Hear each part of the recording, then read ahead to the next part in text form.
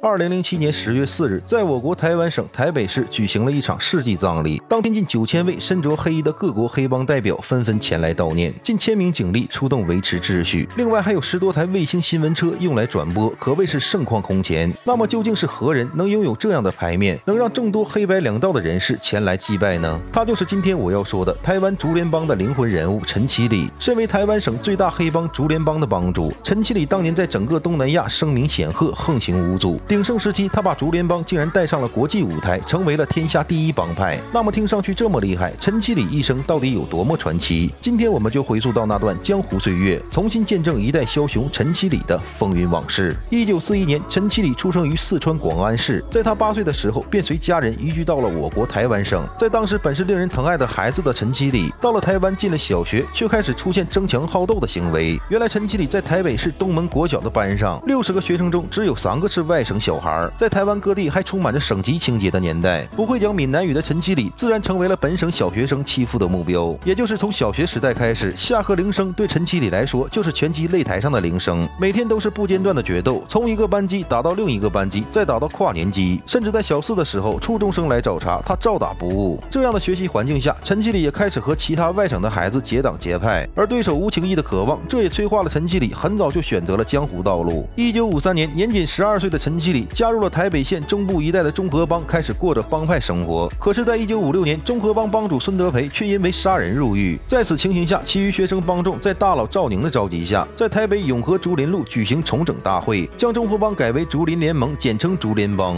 为了尊重孙德培，决定不设立帮主一职。初期编制以狼、鸟、鸡、鸭、鹅等动物名称区分堂口。当时十五岁的陈其礼属于鸭的成员，这才有了日后旱鸭子的称号。而到了六十年代，台湾的江湖变得非常热热闹。除了竹联帮，还有永和帮、牛埔帮，以及势力非常强大的四海帮等。当时竹联帮的人数相对弱势，但他们都很年轻热血，从不畏战退缩。年轻的陈其礼正是在这样激烈的帮派火拼中开始崭露头角的。不过，真正让陈其礼在帮派一战成名的，是在一九六八年，他在台北中山北路一处香港人开的西餐厅的那一战。当时，陈其礼在这间餐厅挂名经理，替餐厅维持，碰到了牛埔帮少年到店找麻烦。陈其礼和兄弟们以一二十个人对抗百人的悬殊比例，击退了当当地的角头牛埔。帮此役过后，陈其礼三个字在江湖上彻底打响了名号，也让仅仅二十七岁的他在这一战中奠定了难以撼动的黑道地位。为了庆祝这次胜利，在同年四月，竹联帮帮众在阳明山聚会，决定重新编组，模仿清朝八旗旧制，采用虎、豹、龙、狮、狼、熊、凤、鸟等动物名称立堂口，并且成立了堂主、副堂主、护法等职。在全场无异议的情况下，将陈其礼一举推上了总堂主的宝座。担任帮主的陈其礼也不负所望，他带领着弟兄们与各大黑帮火拼，不断。扩大地盘，还采用了维持的方法为店家排挤纠纷、收取费用。可是坐上总堂主之位的陈其礼，虽然一时威风鼎盛，但树大招风。他很快因卷入了一场命案而坐了大牢。一九七零年，当时绰号“赌博郎中”的竹联帮成员陈仁，盗领了帮派六十万款项，还寻求警方保护，转当污点证人。此事一出，竹联帮高层大为不满，决定严惩陈仁这位叛帮的行为。而杀手就是从小跟着陈其礼打天下的右护法张如红。结果陈仁命丧西门町街头，导致陈其礼也跟着。被捕入狱。一九七一年十二月，三十岁的陈其礼涉及教唆杀人罪，被关进了绿岛监狱。经历四年牢狱生活之后，陈其礼开始重整帮派，并开始向政治靠拢。在台湾当局的暗中扶持下，竹联帮势力进一步扩大。尤其是在成功挤压当时势力最大的四海帮地盘之后，竹联帮声势猛涨，一跃成为台湾第一大黑帮组织。到了八十年代，此时的竹联帮已经发展成了一个横跨赌场、地产和工程等诸多产业的黑帮集团，同时在海外也开了许多分支，其成成员鼎盛时期。高达二十多万，还扩展到了东南亚以及某国等地。可就在陈其礼的黑道事业如日中天的时候，他却在一九八四年在某国参加了一起震惊中外的江南案。案发后，某国警方对他进行了通缉，最后陈其礼被台湾警方拘捕，并以谋害某国公民罪被判处无期徒刑。好在一九八八年某位高层领导去世，百日大赦，陈其礼在一九九一年获得假释出狱。出狱后的陈其礼可谓是风光至极，许多生意人抱着钞票争着和他合作。可是六年的牢狱生活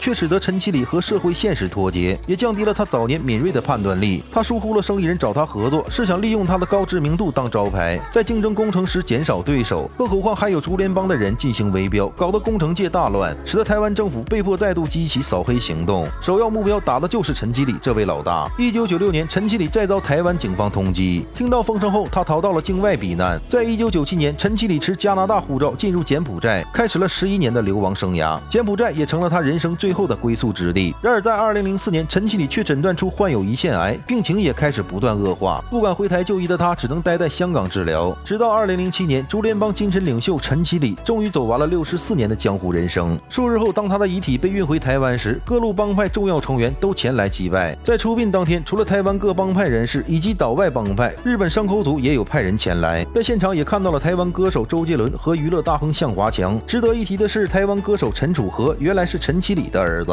今天的故事就到这里了。对于陈其礼，大家有什么不同的看法吗？欢迎评论区一起讨论。我们下期再见。